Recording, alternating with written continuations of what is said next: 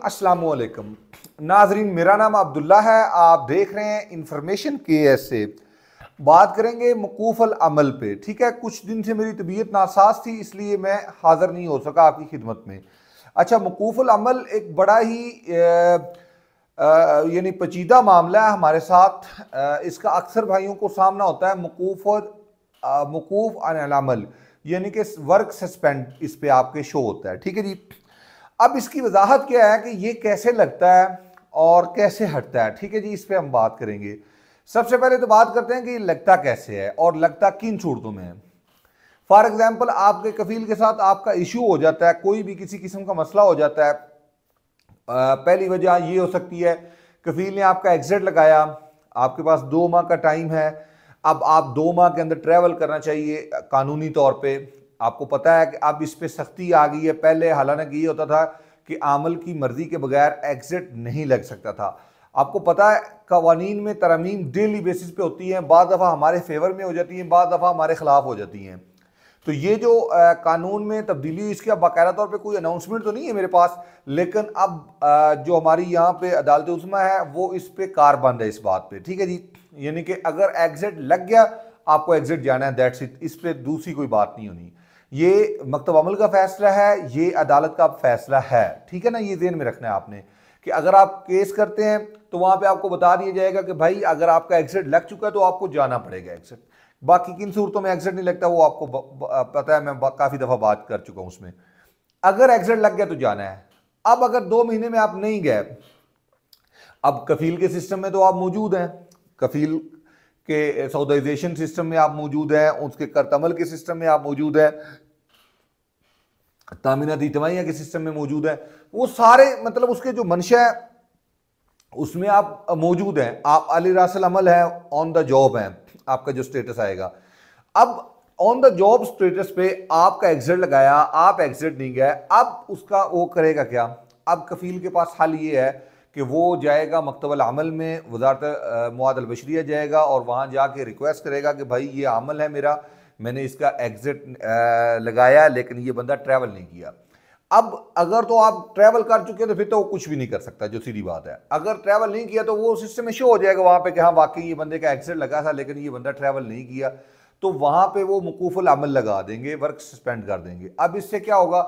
इससे आप कफील के जिस सिस्टम में मौजूद हैं, लेकिन वहाँ पे ये हो जाएगा कि फिर उसको आपका कोई किसी किस्म का लवाजमत पे करने की ज़रूरत नहीं, वो आपका जिम्मेदार नहीं रह गया, ठीक है ना जी? यानी कि वो आपका अब जिम्मेदार नहीं हुआ, क्योंकि उसने आपको काम से रोक दिया ना सस्पेंड कर दिया, भाई आप एग्जिट लगा, आप गए नहीं है। या कोई बंदा काफ़ी अरसे से बंदे सऊदी से गायब है, अब उसका इकामा ख़त्म है तो हरूब लग नहीं सकता तो वो भी उसका वर्क सस्पेंड की रिक्वेस्ट कर सकता है कि यार ये काफ़ी अरसे से आ, मेरे से गायब है बंदा लिहाजा ये मेरे पास आएगा तो मैं इसका मतलब ज़िम्मेदार बनूँगा। इस तरह तो मैं ज़िम्मेदार नहीं बन सकता इसका। तो ये लवाजमात इसके मैं कैसे पे करूँ? ये तो मेरे से काफ़ी अरसे से गायब है। हरूब नहीं लग सकता क्योंकि इसका इकामा बाकी है। इकामा मैं कैसे लगाऊँ? क्योंकि ये मेरे पास ही नहीं है। मतलब मैं आठ दस हज़ार इस पर कैसे खर्चा करूँ कि जब ये बंदा ही मेरे पास नहीं है तो? तो इस सूरत में भी मकूफ़ल अमल लगाया जा सकता है वर्क सस्पेंड किया जा सकता है, लेकिन ये सिस्टम से नहीं होगा, ये मनसल कीवा से नहीं होगा, ये वेबसाइट से नहीं होगा। इसके लिए बाकायदा तौर पे कफ़ील को, मंदूब को जाना होता है वजारत अलमवादलबशरिया में मकतबल में जाना होगा, वहाँ पे जाके ये सिस्टम होगा। अब यहाँ तक तो हो गया ठीक। अब आगे क्या होगा भाई? इसका हल क्या है कि मकूफ़ल अमल जो है, इसका हल क्या है? ठीक है? मकूफ़ल अमल में बाद लोग कहते हैं कि ये भी हरूब की एक किस्म है। हालाँकि ये हरूब की एक किस्म नहीं है, ठीक है?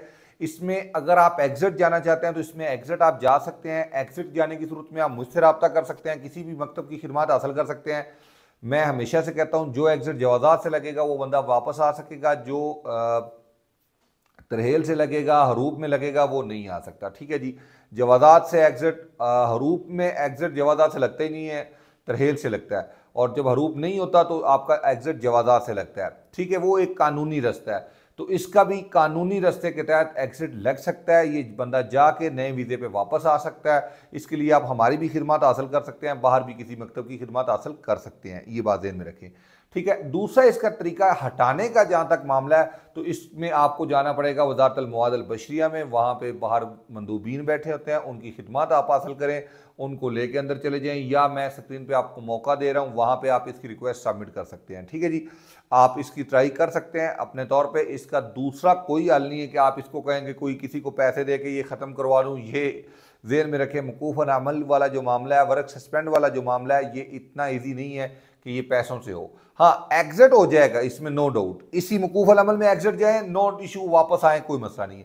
क्योंकि वर्क सस्पेंड किया ना, इससे हरूब का कोई डर लग नहीं है, ठीक है जी?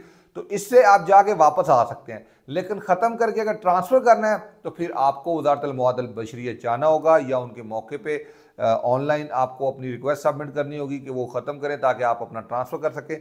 ये दो तीन चीज़ें हैं जी। अगर आपने इस पे एग्जिट जाना है नो डाउट नो इशू आपको यहाँ पे बहस बातें करने की ज़रूरत ही नहीं, आप हमारे पास आ जाएँ या किसी और मकतब के पास चले जाएँ, ये डायरेक्टली एग्जिट हो जाएगा।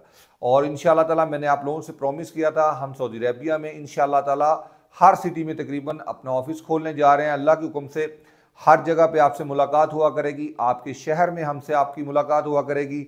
अनकरीब हम इसमें अमेंडमेंट्स करेंगे, अपने निज़ाम में, अपनी जो हम काम करते हैं इसमें और फिर एक अवेज़ा करके आपको अपने काम का तरीक़ेकार वाजिया कर देंगे इन ताला।